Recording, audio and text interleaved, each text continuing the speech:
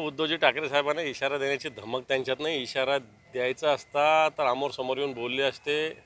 गद्दारी केली नसती. गद्दार लोकांना नाक नसतं गद्दार लोकांना तोंड नसतं. मी परवा पुण्यात हे बोललो की मागची जी निवडणुकी पोटनिवडणुका झाल्या कसब्याची आणि पिंपरी चिंचवडची सगळे हिस्ट्री शीटर्स मी नाव घेत नाही परंतु महाराष्ट्राच्या सरकारमधल्या काही जबाबदार लोकांनी बोलवून घेतले होते. त्यांना पॅरोलवर सोडलेलं होतं. हे या महाराष्ट्रात घडलेलं आहे. आजही गुंडांचं राज्य या महाराष्ट्रात आहे. भारतीय जनताचे आमदार गोळीबार करतात. शिंदे गटाचे आमदार गोळीबार करतायत कारवाई काय होतात ते भले आता गणपत गायकवाडांच्या मुलावर अन्याय झाला असेल. अन्याय करणारा कोण आहे? कशातून झाला?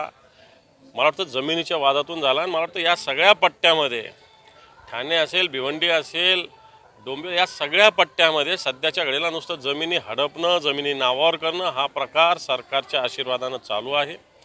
या महाराष्ट्रात आत्तासुद्धा संजय राऊत साहेबांनी एक फोटो ट्विट केला आहे गुंडांचं राज्य आहे. ठिकठिकाणी गुंडांना आश्रय दिला जातो. अनेक जणांवर गुन्हे दाखल आहे त्यांच्यावर कारवाई पोलीस करत नाही. आणि कधी नव्हे ते महाराष्ट्रातली पोलीससुद्धा सरकारच्या हातचं खेळणं बाहुलं बनलेलं आहे. मला वाटतं या महाराष्ट्रासाठी ते भूषणावं नाही आहे आपण शाहू महाराजांच्या भूमीत आहोत. फुले शाहू आंबेडकरांचा हा महाराष्ट्र म्हणतो.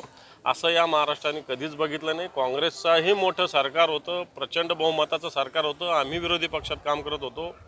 परंतु अशा पद्धतीनं गुंडांचं राज्य या महाराष्ट्रात कधीच नव्हतं. आज या महाराष्ट्रात गुंडांचं पुंडांचं खंडणीबाददारांचं भूमाफियांचं राज्य या महाराष्ट्रात आलेलं आहे. मला असं वाटतं तुम्ही दुपारी या तीन वाजता मग इथं काय काय तक्रारी येतात लोकांचं म्हणणं काय आहे हे लक्षात येईल. कारण शासन आपल्या दारी हे जे केले फक्त सरकारी यंत्रणा वापरून सरकारी जाहिरातीचा वापर करून एक केलेली शोबाजी आहे. मी आता महाराष्ट्रात अनेक ठिकाणी जनता दरबार माझ्या जवळपास आठ दहा ठिकाणी झालेले पार पालघरला झाले बुलढाण्याला झाले आणि मी आता मेळघाटाला सुद्धा जाणार आहे. मी राजकीय हेतूनं जात नाही. मी या हेतूनं शिवसेना प्रमुखाच्या विचाराने जातो की ऐंशी टक्के समाजकारण करण्याच्या हेतूनं कित्येक घराणे असे परवा श्रीरामपूरला एका वृद्ध माणसाचं सत्तावीस वर्ष जुनं काम मी दहा मिनटात मार्गी लावलेलं आहे. मी म्हणजे शिवसेनेनं. आणि मला असं वाटतं जर अशा पद्धतीने जे तक्रार येतात लोक दहा दहा वेळेस पंचवीस पंचवीस वेळेस पन्नास पन्नास वेळेस सरकार दरबारी जातात तरी प्रश्न सुटत नाही. आणि म्हणून मला असं वाटतं लाख लोकांचा आणि हजारो लोकांचा मेळावा घेऊन गेल्यापेक्षा एकशे दोनशे पाचशे लोकांच्या मुख्य तक्रारी ऐकून त्या सोडवणं मला असं वाटतं योग्य वाटतं.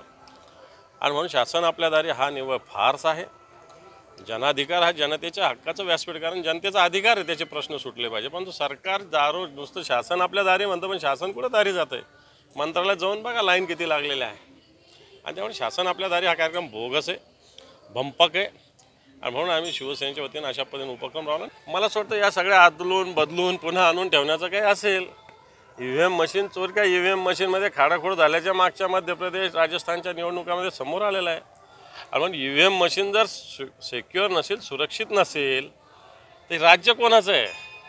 जर तुम्ही निवडणूक आयोगाने दिलेल्या आता ह्यात उघड झालं म्हणून काही गोष्टी आता उघडच झाल्या नसेल ई व्ही एम मशीन कोणी घेऊन गेलं असेल तर? हे फक्त चोरी उघड झाली म्हणून. न जाणू या चोरीलाच कोणाचा पाठिंबा असेल सरकारमधल्या कोणाचं तर याचा विचार आपण कधी केला? मला असं वाटतं मी हा विचार करतो की न जाणो सगळ्या ई व्ही एम मशीन काही आधीच नेऊन ठेवलेल्या असेल पुन्हा आणून ठेवल्या जातील असंही होऊ शकतं. आणि म्हणून हा महाराष्ट्र काय आत्ताच्या घडीला मला वाटतं फुले आंबेडकरांचा राहिला नाही हा गुंडांचाच झालेला आहे. बिलकुल केलेला आहे. एखादं रेल्वे बस आहे, पण सरकारची जबाबदारी रेल्वे सुरू करणं बस सुरू करणं विमानसेवा सुरू करणं ही सरकारची जबाबदारी आहे. एखादी रेल्वे सरकारने सुरू काय केली तर देशाचं लगे पार परिवर्तन झालं का? एक रेल्वे सुरू झालं की देश लगे विकासाच्या एकदम लगे उच्च स्तरावर गेला का? आज देशाची आर्थिक स्थिती काय? आहे आयात निर्यात स्थिती काय? आहे परराष्ट्र धोरणात भारत यशस्वी आहे का? फेल आहे.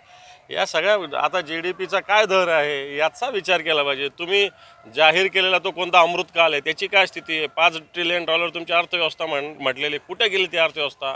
मागच्या एक वर्षामध्ये या अमृतकाळाचा एखादा थेंब जरी या हिंदुस्थानामध्ये पडलेला आहे का?